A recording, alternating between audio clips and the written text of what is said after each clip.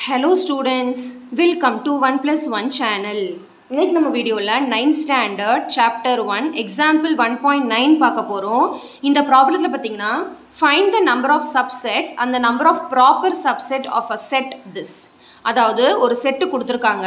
இதுக்கு நம்ம வந்து நம்பர் ஆஃப் சப்செட் கண்டுபிடிக்கணும் நம்பர் ஆஃப் ப்ராப்பர் சப்செட் கண்டுபிடிக்கணும். ஃபார்முலா ஞாபகம் வச்சுக்கோங்க. நம்பர் ஆஃப் சப்செட்டுக்கு வந்து டூ பவர் எம் ப்ராப்பர் சப்செட்டுக்கு வந்து two power M minus one இப்போ இந்த எம் என்னன்னு கேட்டிங்கன்னா நம்பர் ஆஃப் எலமெண்ட்ஸ் இதில் கொடுத்துருக்கிறது one two three four five six six elements சரிங்களா? இப்போ பாருங்கள் கிவன் இது கொடுத்துருக்காங்க. நம்பர் ஆஃப் எக்ஸ் தானே எம் நம்பர் ஆஃப் எக்ஸ் நம்ம கண்டுபிடிக்கணும். என் ஆஃப் எக்ஸ் ஏன்னா இங்கே எக்ஸ் தான் கொடுத்துருக்காங்க. அப்போ என் ஆஃப் எக்ஸ் வந்து ஆறு எலமெண்ட் இருக்குது ஸோ ஃபஸ்ட்டு வந்து நம்ம வந்து நம்பர் ஆஃப் சப்செட் கண்டுபிடிக்க போகிறோம் நம்பர் ஆஃப் சப்செட்டுக்கு ஃபார்முலா என்னதுன்னா N of P of X நம்ம அதை டினோட் பண்ணுறோம் தட் இஸ் நத்திங் பட் இதுக்கு பதிலாக நம்ம டூ பவர் எம்னு கூட போட்டுக்கலாம். Two power M so two power M is nothing but two power M இருக்க இடத்துல சிக்ஸ் இதுதான் எம் சரிங்களா? Two power சிக்ஸ்னால் two into two into two into டூன்னு சிக்ஸ் டைம்ஸ் மல்டிப்ளை பண்ணணும்.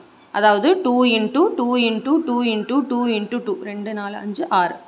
அப்படி ஒன்றுனா மல்டிப்ளை பண்ணணும். Two two sir four four two sir eight eight two sir sixteen sixteen two sir thirty two thirty two two sir sixty four so number of subset வந்து sixty four அடுத்து number of proper சப்செட்டுக்கு வந்து two power M minus one அதாவது N of P of X minus one அந்த two power எம்முக்கு பதிலாக தான் இங்கே N of P of X அதாவது number of proper number of subset number of proper subset அப்படின்னு எழுதுறாங்க. சரிங்களா?